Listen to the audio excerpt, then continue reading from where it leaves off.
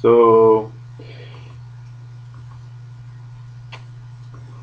at this point, there are probably some elites out there who are thinking to themselves,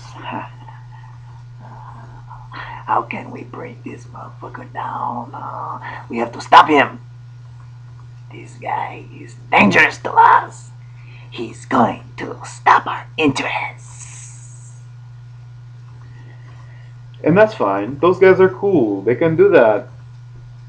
Look, even to them, you have to understand the implications of the message. You're playing on the same field as everyone else. You are bound to the same system of energetics. Guys, no matter who you are, I don't care what how tall your tower and how fancy your clothes. I don't care. It doesn't matter. Before you commit regicide, you will hear me and you will know that you are bound to the same spiritual system that everyone else is. You are bound to the chakras. You are bound to the Sephiroth. You are bound to the wheel of life. You are bound to the same dharma and the same karma. And you did not come to your position in this world by taking these things lightly. And if you take me lightly, fellas, you're gonna find out what happens. You can't kill me because I'm not even here. I'm a motherfucking ghost. And I'm not here to hurt you. I'm here to help you. I'm here to help you save the world. If you don't eliminate me, I don't want to be on the throne. I don't even want that fucking position. You can keep it. But you need to be better managers. You need to be better stewards. Keep your yacht. Keep your fancy house. Keep your tall tower. Those aren't going to go anywhere, guys. People are still going to want to get nicer things. People are still going to want to work. People are still going to want to pursue knowledge and skill and artisanship. People are still going to use their compasses and their right angles. You don't need to kill me, guys.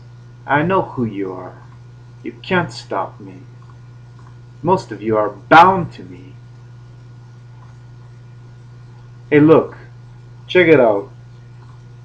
I'm not here to hurt anyone. I'm not here to stop anything. Once everybody goes home and you all take a breath, we get up in the morning and we'll start again. This time, everyone will do it the best way. Certain things have to stop. That's true. But why can't you just evolve? Why can't you just change your business? Hydrocarbons are bad. Make something else. You have billions and billions and billions and hundreds of billions. You're so rich. You're so powerful. Why can't you do something good? Who are you people? You don't have kids? You don't like life? You don't like nature? You don't like the world you're on? Who are you psychos? Who are you psycho cannibal zombie motherfuckers? Who are you? Where did you learn this craziness? From eating the flesh and the blood of your god for the last however long? You're go- you're all crazy. Stop! You still will be powerful, guys. You're smart. You're active. You got to the top because you're the best. You're still going to be the best tomorrow. The people at the bottom don't want your struggle. They don't want your trouble. They don't want your headaches. They don't want your hassle. Let them build their houses out of trash. Leave them alone. The best way to deal with people is not to force them to take more things on, to live longer on one end, and then to kill them on the other. Let life do that for you. You made a business out of everything, even death. So what do you expect? What can you expect? These people are going to rip themselves loose. You guys don't know how to balance. You have to give a little to get a little. And once you guys have taken everything and take too much, oh, you're screwed. You've got too much. The people have nothing left to give you. They have nothing left to lose. You put yourselves in this position. It's not my fault. Don't blame me.